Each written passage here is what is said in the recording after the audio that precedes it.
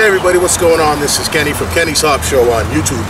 Uh, this is going to be the first and what I hope to be many in a series of videos that I'm going to call the tailgate sessions. They're going to be held right here on the tailgate on my old beat up Ford pickup truck. Today we're going to talk about my old beat up fender Bassman. Uh, by far, my most popular video on YouTube is a short talk on harmonica amps. Uh, if you haven't seen it, check it out. I'll put a link to that in this video, and I'll put a link to this video in that video. Yeah, I'll link them both together. Uh, in that video, we compared uh, tube amps to solid state amps, and I've got a lot of great response on it. So I figured I'd do a part two. Part two was my upgrade from the uh, Gibson Falcon that I had in that. Uh, this is it. This is your end game. Uh, Fender Bassman. It's a very highly sought after harmonica amp. And for good reason. These things are built like a tank. They're loud as hell and they got crazy tone. Uh, I've modified this one a little bit. I've changed the preamp tubes and I've swapped out the lower speakers for some Jensen MOD speakers. Uh, I'll put a clip for that in this video and you'll check it out later. And here's what's going on in the back of the Beast. I have a uh, 5751 in the first valve, a 12 AT7 in the second valve, and the regular 12 AX7 in the third valve. What you do here is uh, it's called dropping the preamp. Uh, instead of having three 12 AX7s across the board to give you 100% gain, what I have done here is I've lowered the gain in the first two valves and the first two preamp valves. What that does is uh, you suffer and you lose a little bit of overall volume, but what you gain back is a lot of tone and less feedback.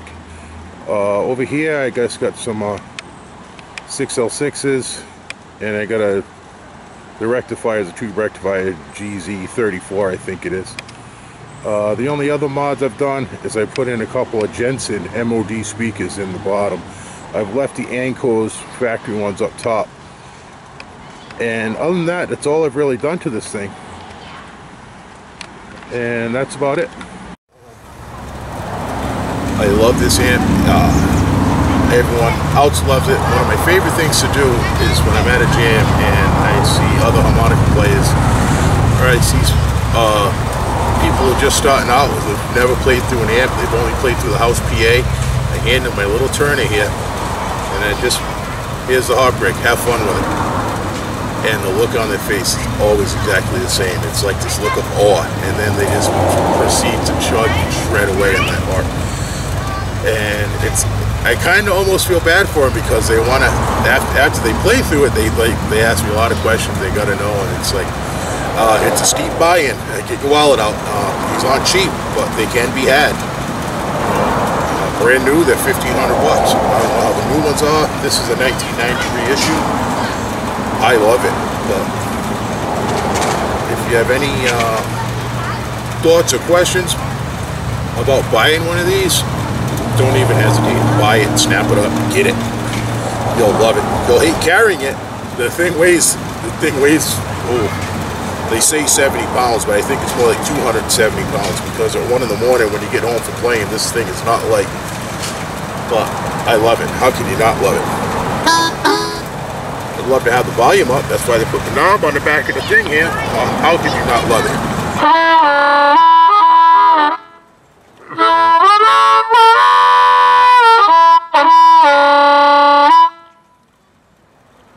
I got this. That's on. That's on four. Well, you go past four sitting this close, you're gonna get feedback. Uh, don't get a lot of feedback because I lower the preamp tubes, but this thing is just. It's just. I don't know.